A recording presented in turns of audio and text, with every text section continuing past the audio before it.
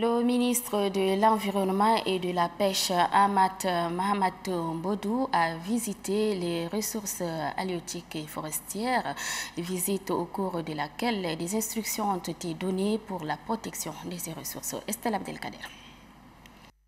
Il a laissé son cabinet pour diriger une opération de terrain.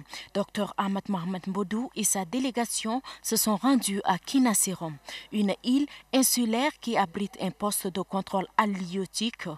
La conservation et la gestion des ressources halieutiques sont au menu de la rencontre du chef du département et les acteurs de la pêche. Une gestion d'abord en commençant par la manière de les pêcher les équipements, adaptés pour les pêcher, ça c'est très important. Et quand on tourne ici, c'est le plus grand ennemi de euh, ces produits halieutiques, c'est les filets prohibés. Filets prohibés en prenant en quantité importante euh, les, les, aluvins, les, poissons euh, à un stade élémentaire, encouragerait comme la disparition du lac Tchad, la finition de cette ressource qu'est le poisson.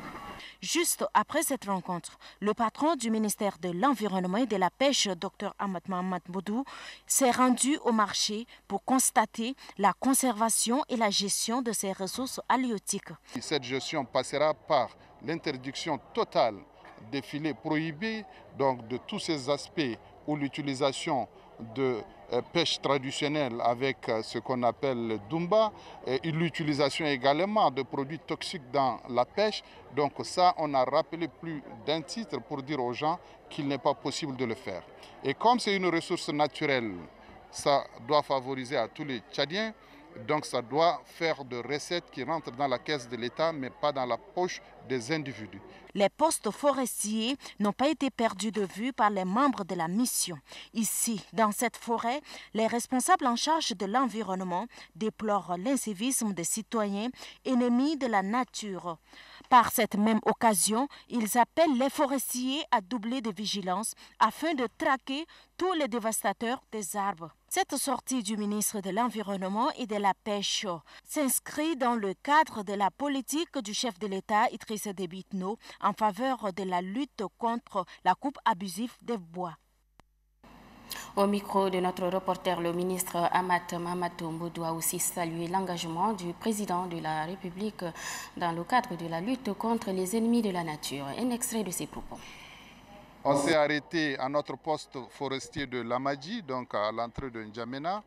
Et là, vous aurez constaté que le poste est géré par nos forces de défense et de sécurité, des hommes en béret rouge.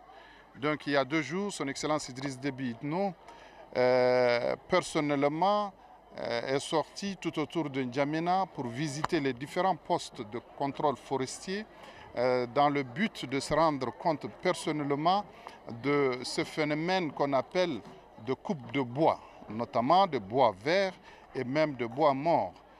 son Excellence Idriss Déby trouve que autour de N'Djamena, il est totalement interdit de toucher à aucun bois.